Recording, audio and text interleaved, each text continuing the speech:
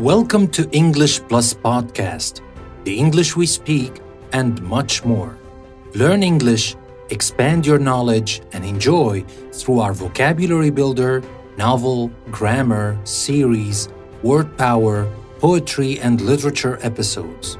All our episodes come with full transcripts, quizzes, downloadable worksheets, and more exclusive content you get only by listening to English Plus Podcast.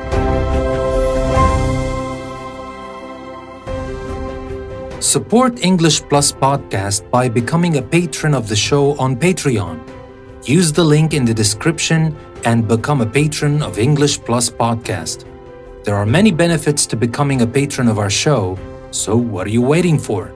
Click the link and check them out on my Patreon page. But above all, support English Plus Podcast and help our free e learning journey continue. Welcome to a new episode from English Plus Podcast. In our new literature episodes, we will talk about immortal books, books that stood the test of time and that are so influential that many other writers even until today, are still influenced by these books, and many of these books are transformed into great movies. But we will be talking about the books themselves, we will be talking about the main plot, characters, themes, and other important things relating to those books. The first two books we will discuss in our literature episodes are most commonly believed to be the greatest works of literature in the history of the Western world. These books are the Iliad and the Odyssey, and they were written by Greek poet Homer sometime around the 8th century BC.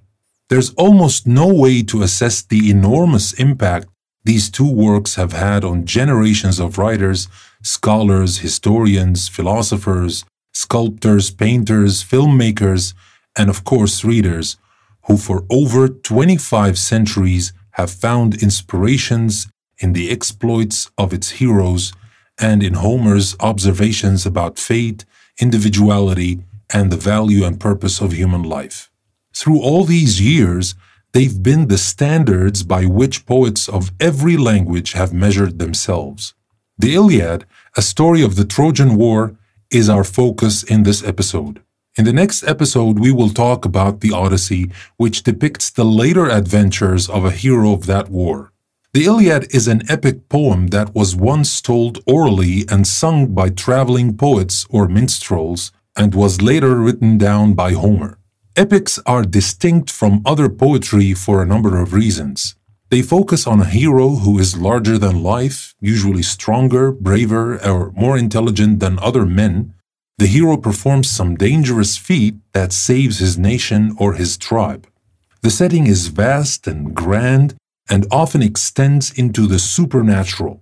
The action encompasses deeds of valor, the hero must overcome tremendous odds and obstacles, and the language and style of the poem is grand and elaborate to match the story. This language remained intact even when poets like Homer transferred the poems from an oral to a written format. Scholars were able to determine the date of Homer's writing by tracing the history of oral epics and of written language. They knew that epic poems were originally recited from memory, and they also knew that the ability to compose and recite poems of such length was one that existed only in pre-literate society. So they concluded that the Iliad was recorded soon after writing was introduced in Greece.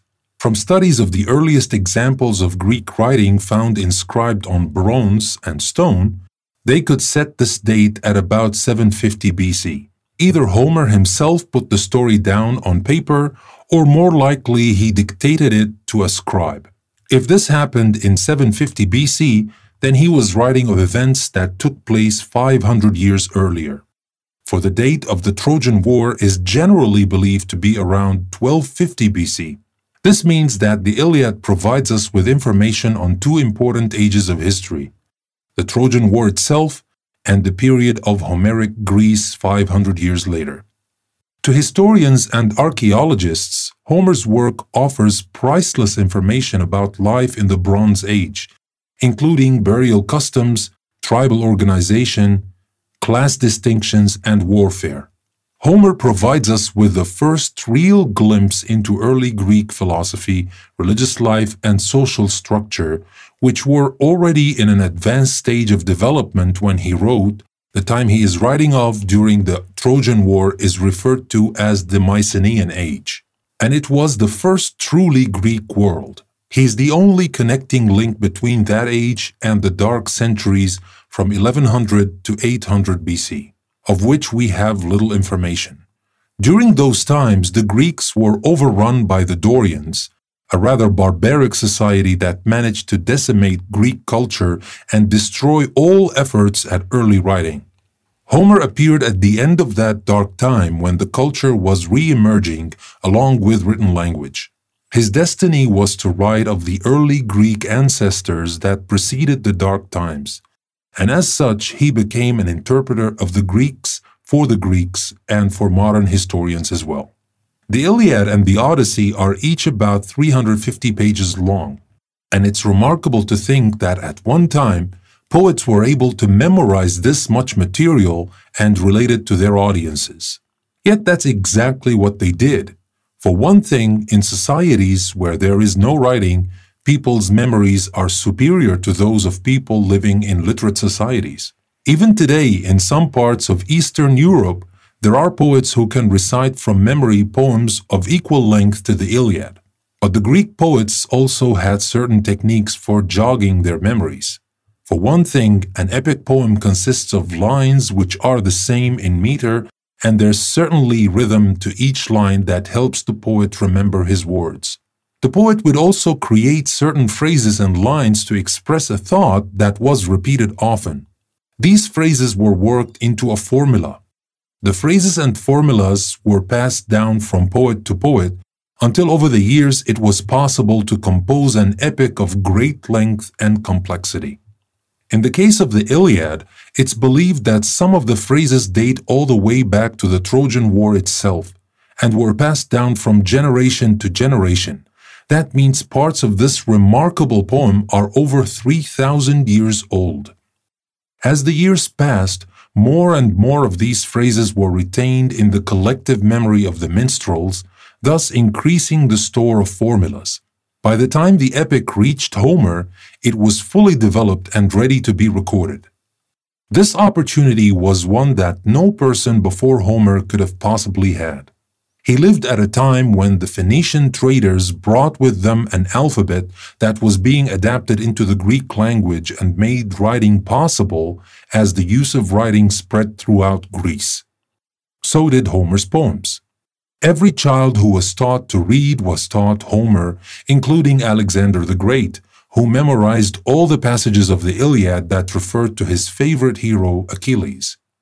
Greeks prided themselves on being able to recite long passages of the Iliad and the Odyssey. Greek authors quoted Homer the way scholars today quote the Bible or Shakespeare. There were, of course, no printing machines at Homer's day, so every copy of his poems had to be written separately by scribes on papyrus. Papyrus decomposed after a period of time, so new copies were constantly being made. Since scribes were inevitably bound to make mistakes, and because of the lengthy copies, there were many versions of Homer's works being circulated. Finally, in the 3rd century BC, a group of scholars gathered in Alexandria and examined copies of Homer's works. From these copies, they produced a standard text. Then, when parchment was developed, the works were transferred to this more durable substance. They were copied and recopied throughout the Middle Ages. Homer's influence then reached to the classical age into the Roman Empire, into the Renaissance, and on into the modern era. He was a particular favorite of the English Romantics, who signed Homer a type of noble savage they'd idealized. He was also popular on the continent. The German writer Goethe taught himself to read Homer in Greek when he was only 21. Throughout all these ages and lands, Homer's critical reputation remained strong, and he was always admired and emulated.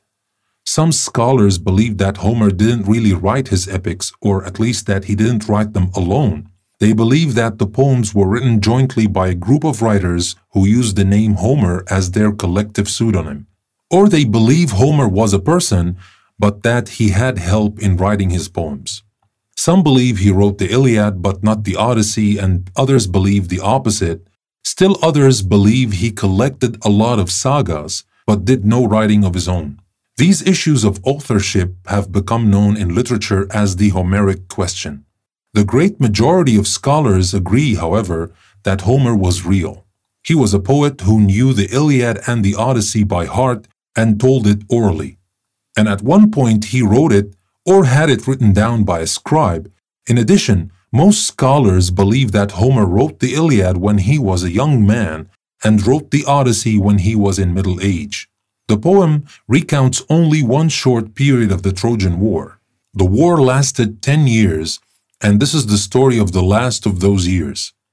There's a lot of legend or history that precedes the story and a lot that follows it. That also involves the main characters. The ancient Greek audience would have been familiar with these events, but we, of course, need an update. The most important event that's happened before the poem begins is that Paris, a young Trojan, has run off with Helen, the wife of Menelaus, who is a Greek. Paris was a guest in Menelaus's house when he fell in love with Helen, who was said to be the most beautiful woman of her times and so he simply whisked away to his native city, Troy. The reason that fate led Paris to Helen is also important, as it affects later events in the poem. It seems that one day the goddesses Athena, Hera, and Aphrodite asked Paris which of them he found most beautiful. Athena said that if he found her beautiful, she would reward him with wisdom and military success. Hera said that if he found her most beautiful, she would reward him with wealth and power.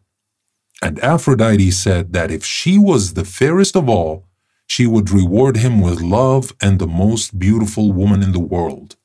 Paris chose Aphrodite. As a result, he was awarded with Helen and her love.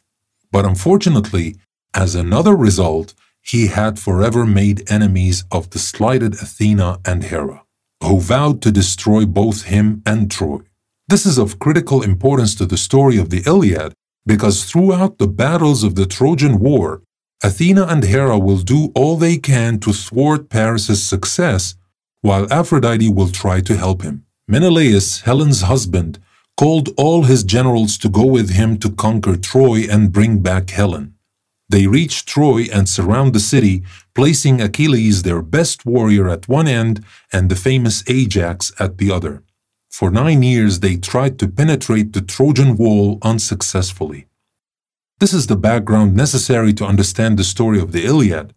The story itself revolves around the hero Achilles, the mightiest of the Greek warriors. His wrath and his pride are central themes in the epic and lead to tragic results. Achilles withdraws from the battle after he's insulted by Agamemnon, commander in chief of the Greek army, who takes his mistress away from him. In short, Achilles is sulking. While he sulks his companion, disaster happens and his best friend since childhood is killed. This arouses his fury and he returns to battle on a violent rampage of revenge, slaughtering all in his path, including the noble Hector, who is the chief defender of Troy, and the other hero of the epic. Also playing a role in this drama is Odysseus, who will later be the hero of the Odyssey. Both Odysseus and Achilles have been told their fates beforehand. Achilles knew he was to die in Troy, and Odysseus knew he wouldn't be able to return home for 20 years. Achilles headed to Troy anyway, convinced a short, honorable life was preferable to a long, mediocre life. Odysseus, on his part, tries to avoid going by faking insanity, a ruse that is quickly discovered. Achilles does die in Troy when Paris shoots an arrow into his famous vulnerable heel, but this happens after the end of the Iliad. Odysseus, for his part, is doomed to 20 years of travel, and this, of course, is what makes up the story of the Odyssey. There are three basic plots or themes in the Iliad. First is the individual, the story of Achilles, of his uncontrolled anger and his tragic destiny. Second is the story of the Trojan War, with a focus on this one year. And third is the relationship between men and the gods, or the forces of fate. So we have a personal theme, a social theme, and a universal theme. All three are tragic, although the universal theme of man and gods has occasional touches of humor and irony. The attitudes and ideals portrayed by Homer are uniquely Greek, but they also have relevance for us today.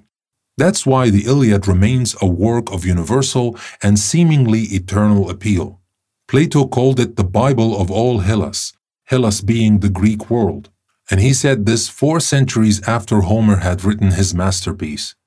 For the modern reader, it's sometimes difficult to see at first glance why such an epic is considered so profound, because on the surface, the Iliad seems to be just a gruesome, bloody war story with lots of graphic death scenes, and the hero who is sulky, proud, and stubborn. That, of course, is just the surface. In reality, the Iliad is an epic myth a symbolic attempt to explore man's psychological makeup and his predicament in the universe through poetry. This particular myth suggests in the long run the helplessness of men in relation to external powers, the power of destiny, and the discord and stress that results from man's weaknesses.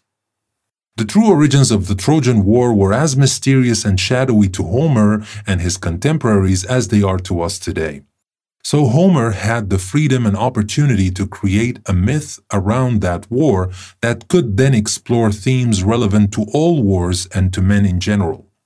The days of the Trojan War and of Homer's Greece are far away from us now, yet Homer's poems easily transport us to those ancient times. His characters are distinct and lifelike, his scenes are richly described, and the timeless themes of the story settle into the deepest level of our consciousness. We know very little about the man who wrote these two remarkable poems, and there are many more questions about him than answers. Some people believe that Homer was blind based on certain references he made in some of his poetry. Even though the life of a bard might be an ideal profession for a blind man, there is no indisputable evidence that Homer was indeed blind. There is really only one biographical statement that can be made about Homer with confidence. He was an Ionian, probably from the island of Chios. Ionia was the name the Greeks applied to the islands of Asia Minor and to Asia Minor itself. Homer was born sometime between 850 and 750 BC at the end and the beginning of a long tradition of epic poetry and troubadours. He was at the end of the tradition of oral poetry which had flourished for many centuries before and then Greece, although his written epics of these are all that survive of them. He stands at the beginning of the history of Greek literature, a very prominent history indeed. The Greeks are a nation of storytellers, and Homer is the earliest example we have of that esteemed tradition.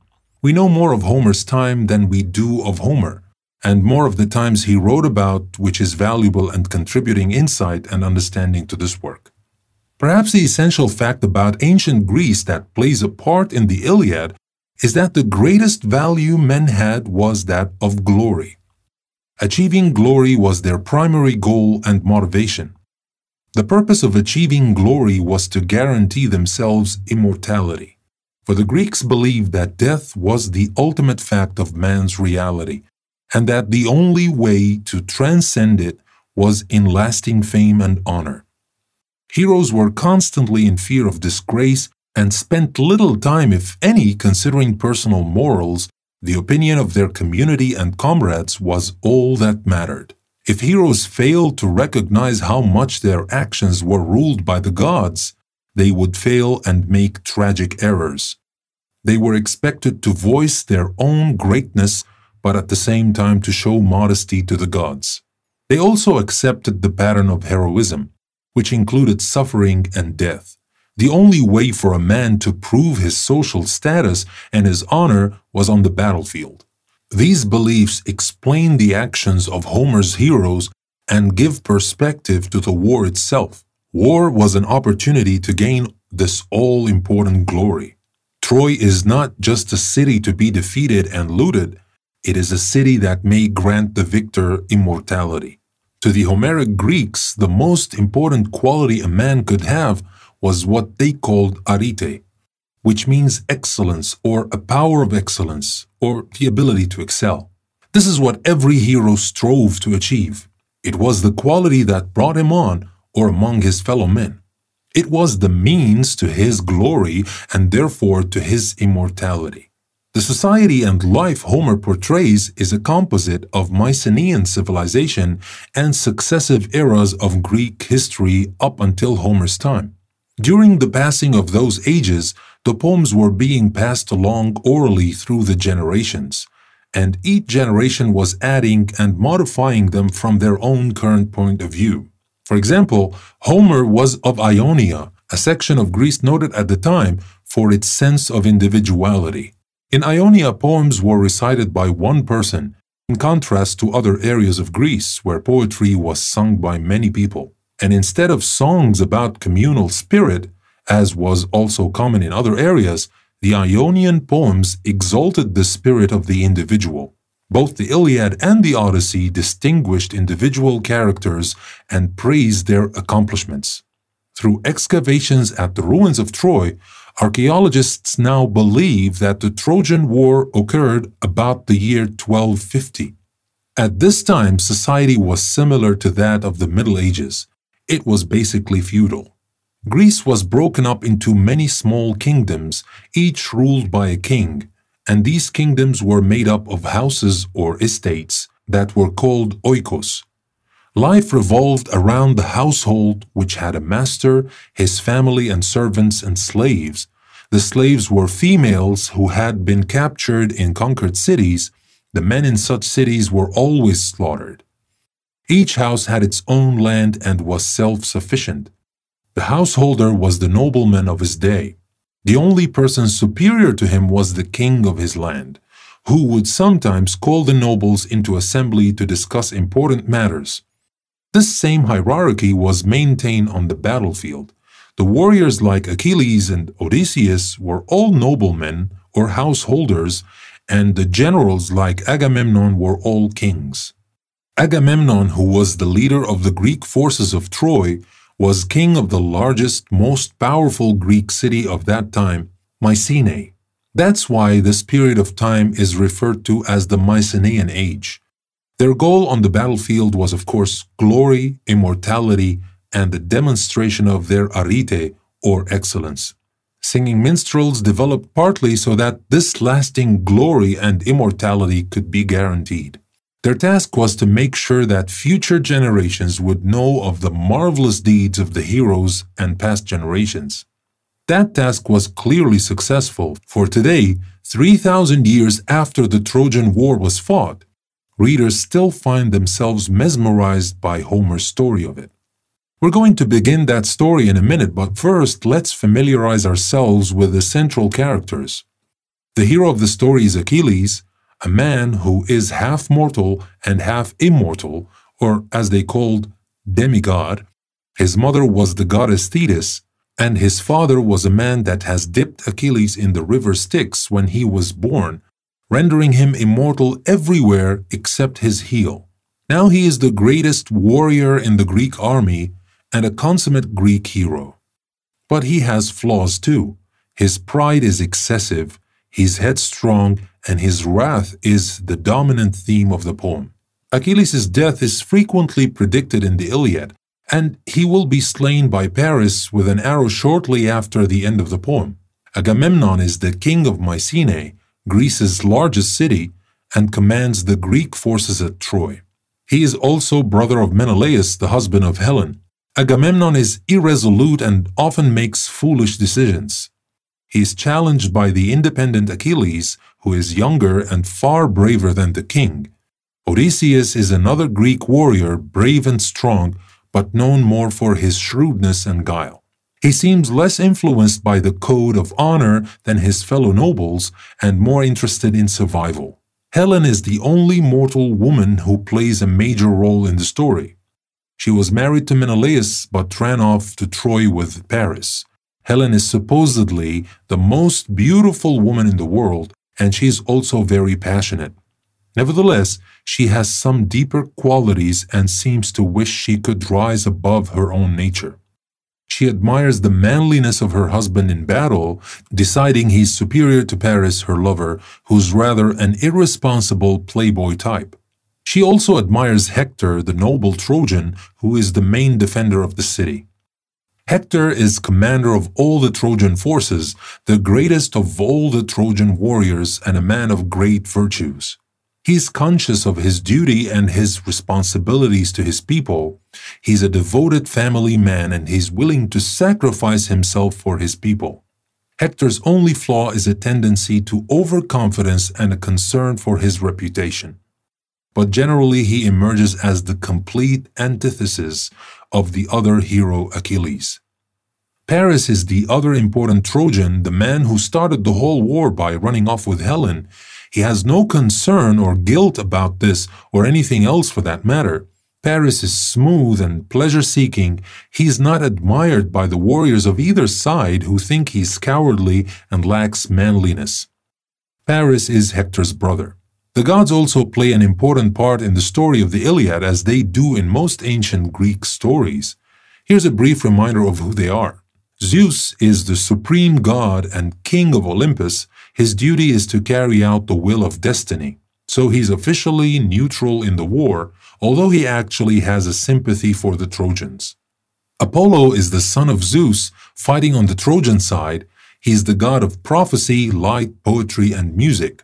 Athena is the daughter of Zeus, goddess of wisdom and war. She plays a prominent role fighting on the side of the Greeks in revenge against Paris for choosing her sister Aphrodite as the most beautiful goddess. Hera is the wife and sister of Zeus, the goddess of married love. She fights for the Greeks for the same reason Athena does. Paris offended her too by choosing Aphrodite. Aphrodite is another daughter of Zeus, goddess of passionate love. She is the patron of Paris, so she fights on the Trojan side. There are many other gods and many other mortals in the Iliad, but these are the most important ones. Now let's begin with the story. In a recent trade on a town near Troy, Achilles and Agamemnon have each been awarded a slave girl. Agamemnon's girl is the daughter of a priest who comes begging for her return. Agamemnon refuses, and in despair, the priest prays to Apollo for revenge on the Greeks. A plague descends on the camp, and many men die. On the tenth day of the plague, Achilles goes over Agamemnon's head and assembles the army. He calls for a soothsayer who says the plague is the result of Agamemnon's refusal to return the girl to her father. Agamemnon is furious and demands that if he must give up his girl, then he must be repaid with Achilles' girl. This enrages Achilles, who considers stabbing Agamemnon but is restrained by the goddess Athena. Nestor, the oldest and wisest of the soldiers, pacifies the two men, but Achilles feels disgraced and announces he's withdrawing his troops from the battle. He says he has no personal quarrel with the Trojans anyway and was fighting only to help Agamemnon and Menelaus in retrieving Menelaus's wife Helen. It is unjust to take his war prize, the slave girl, from him. He resolves to fight no more. After Agamemnon sends a herald to collect Achilles' girl, Achilles wanders by the seashore, weeping over his disgrace. He asks his mother, a goddess, to enlist Zeus's aid in helping the Trojans defeat his fellow Greeks, so they will realize his true worth, for Achilles is their strongest warrior.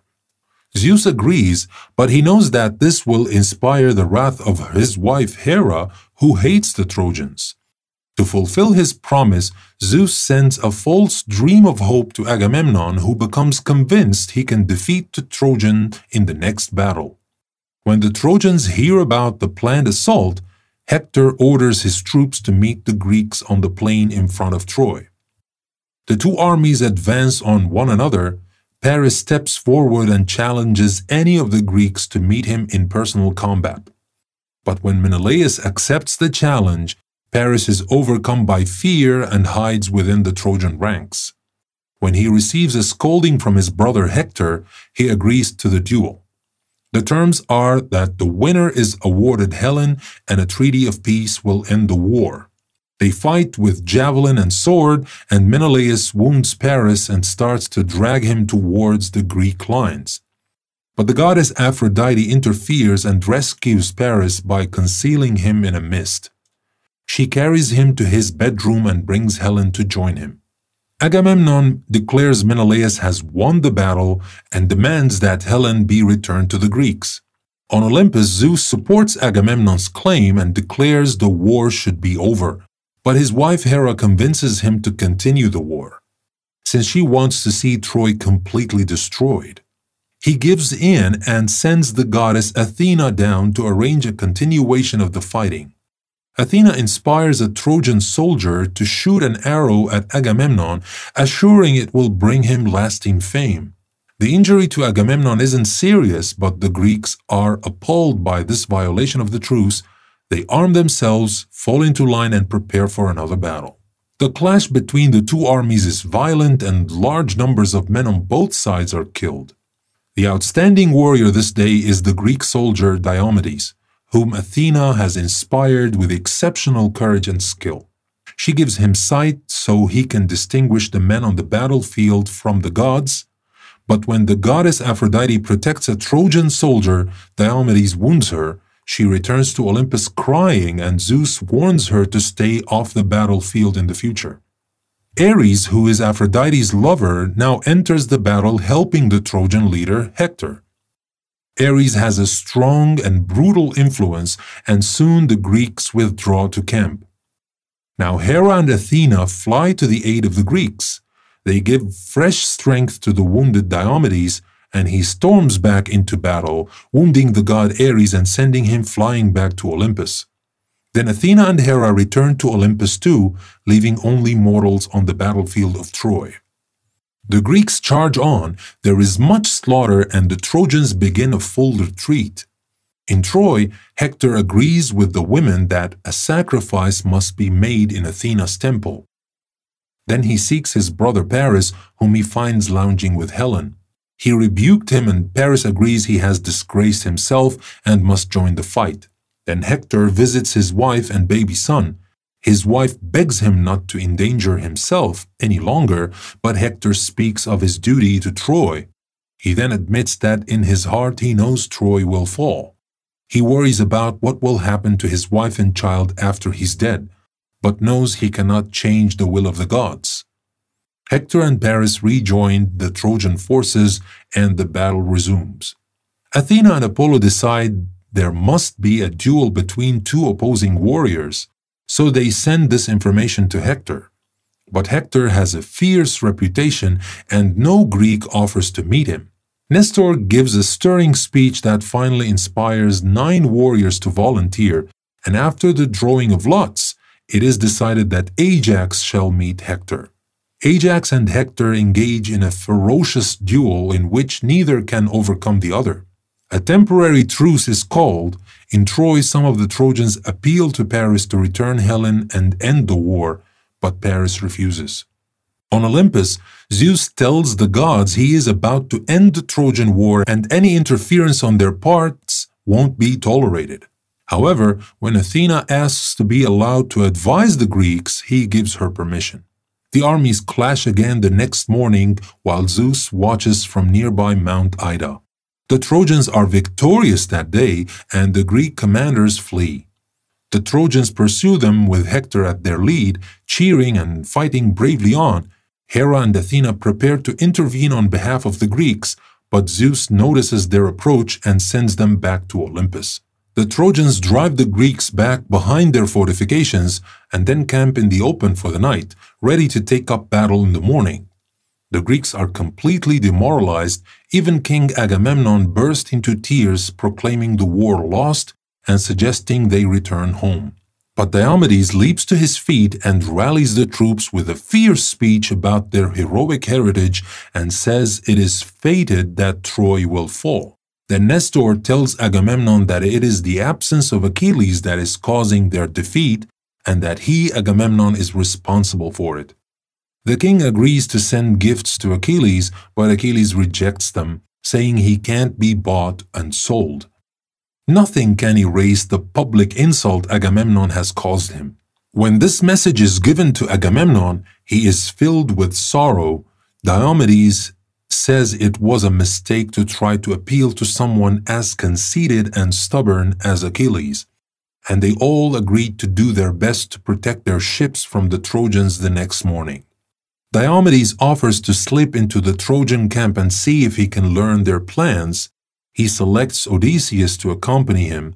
On their way, they discover a Trojan spy, and from him they gain information about Hector's location and plans. They also learn of a new group of troops that is unprotected. They killed the spy, attacked the new troops, and returned to camp with chariots, horses, and other booty. There is rejoicing among the Greeks, and Diomedes and Odysseus become the heroes of the day. The next morning, the Greeks drive the Trojans back at first, but then Agamemnon and most of the leaders are wounded and forced to withdraw from battle. The Trojans regain the ground they lost and inflict many casualties on the Greeks. Achilles watches these developments with alarm and begins to grow frustrated at his own self imposed uselessness he sends Patroclus, his squire and dear childhood friend, to get details of the battle.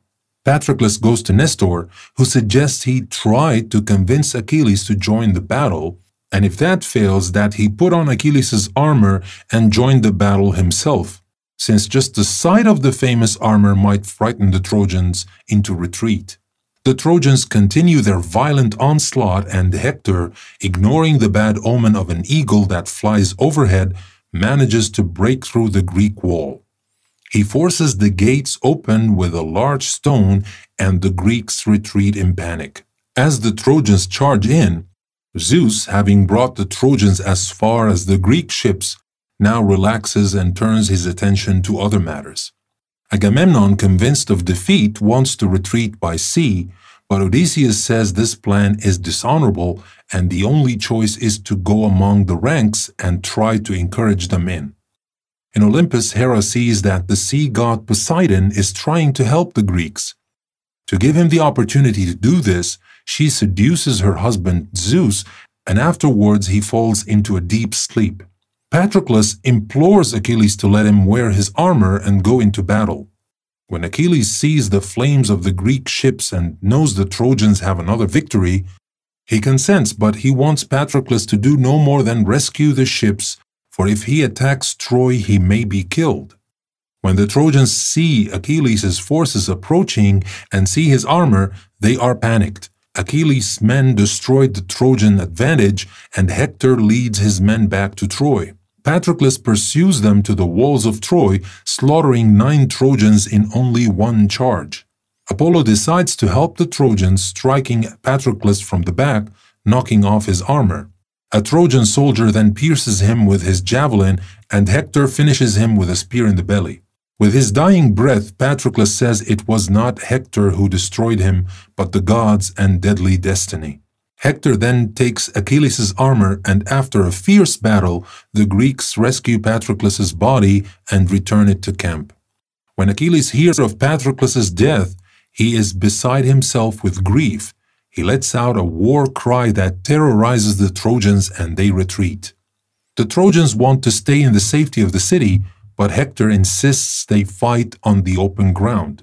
Thetis, Achilles' mother, has a glorious new suit of armor made for him by the god of blacksmiths. Achilles announces to the Greeks that his quarrel with Agamemnon is over and he is ready for battle. He knows his death at Troy has been foretold, but feels nothing can prevent him from avenging the death of his friend Patroclus. The Greeks gallop into battle. Meanwhile, Zeus gives the gods permission to assist on either side, for Achilles must be prevented from exceeding the bounds of victory set by fate. Immediately, Hera, Athena, Poseidon, Hermes, and Hephaestus fly to the side of the Greeks, while Ares, Apollo, Artemis, and Aphrodite fly to the side of the Trojans.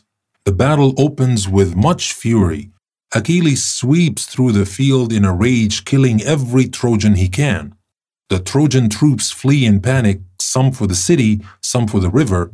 Achilles follows the troops to the river, and so violent is his slaughter that the river overflows with dead bodies. The gods fighting for the Greeks prevent the river god from attacking Achilles with waves and currents. Then the gods, excited by human warfare, take on their own battles. Athena defeats Ares and Aphrodite, Hera drives Artemis from the field, Achilles continues to drive Trojans from the field, and most of them take refuge in the city. Hector stands outside preparing to meet Achilles one to one. Yet when Achilles approaches, Hector is overcome with fear and tries to flee. Achilles pursues him and they run round the city walls three times while Hector tries to draw Achilles within the range of the Trojan archers on the wall. Finally, Athena tricks Hector. She tells him he will have help against Achilles, so he stops running and faces Achilles. Achilles casts his spear and misses, but Athena returns it to him. Hector throws his spear and hits his mark, but it can't penetrate the divine armor. Finally, Achilles lunges his spear into Hector's throat. As the Trojan dies, he begs that his body be returned to his family for a proper funeral. Achilles refuses. He fastens the corpse to his chariot and drags it along the ground in disgrace. Within the walls of Troy, the citizens watch and moan and lament their hero's piteous fate. Hector's wife collapses. Back at camp, Achilles leads the Greek warriors to honor his dead friend Patroclus. They build a large funeral pyre loaded with valuables. He even sacrificed 12 captive Trojans and then light a flame. Afterwards, Achilles takes the ashes of Patroclus to be buried alongside his own body. After the funeral, there are ceremonial games in honor of Patroclus. All during this time, Hector's body lies on the ground unattended, but Apollo and Aphrodite protected it from decay and from the ravages of predators. Nine days pass, and on each day Achilles ties Hector's body to his chariot and drags it around the funeral pyre of Patroclus.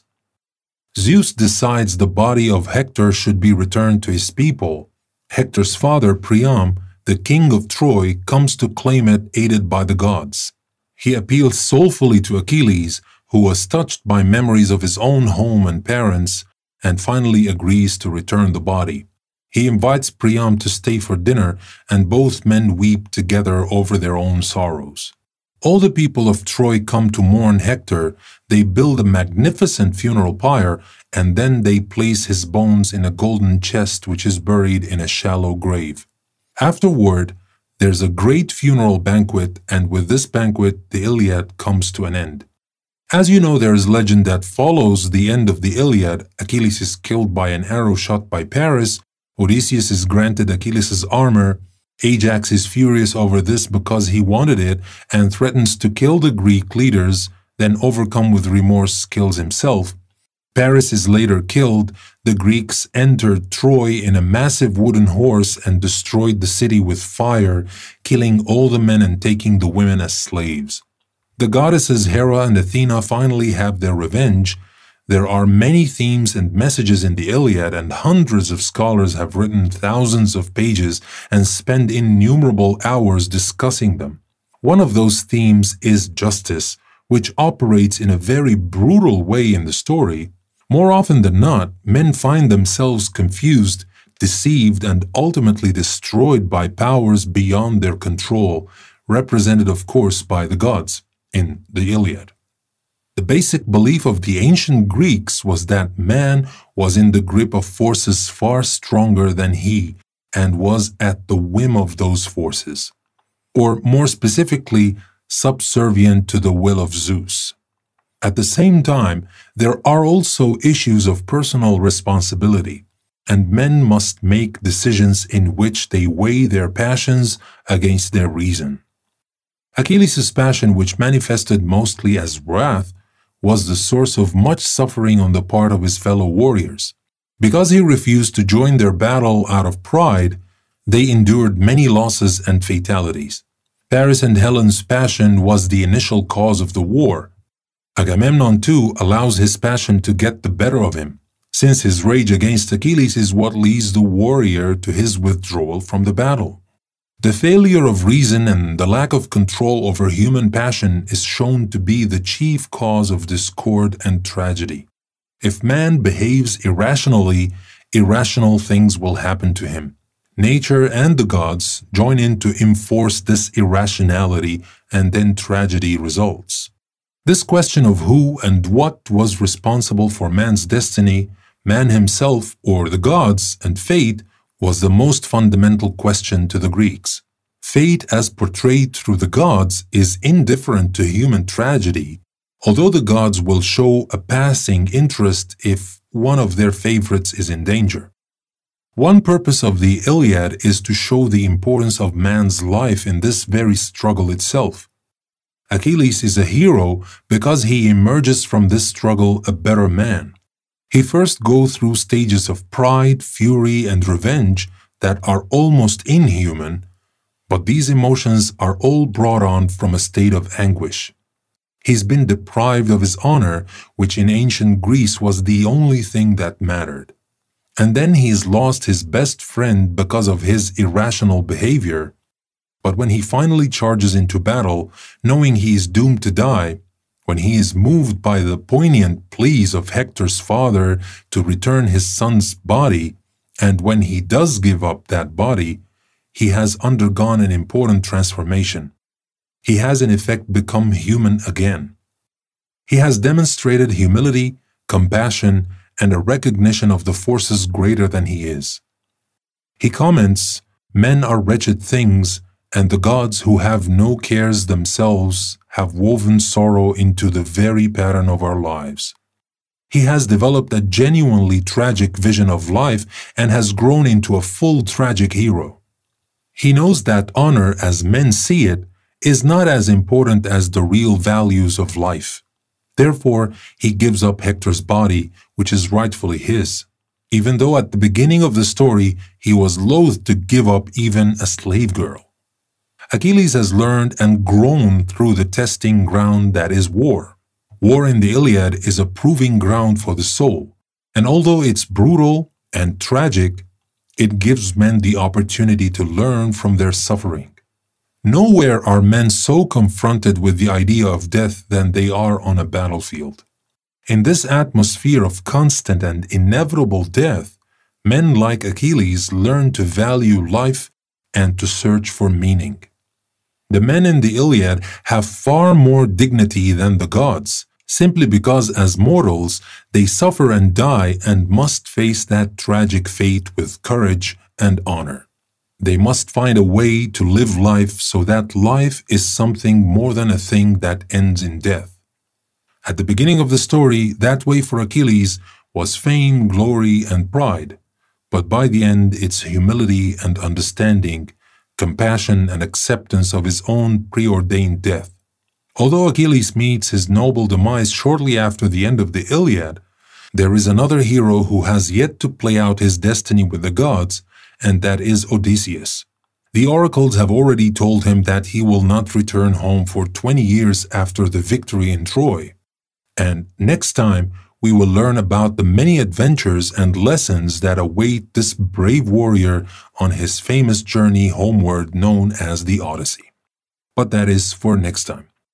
I would like to thank you very much for listening to the themes, stories, characters, and underlying motives of this immortal book. And I hope you found it useful. I hope it gave you a kind of insight into the story or even encouraged you to read the story if you haven't read it already. Don't forget that you can find the transcript of this episode and a short quiz on my website, and the link to this post you will find in the description of this episode. Thank you very much for listening to another episode from English Plus Podcast, and I will see you next time.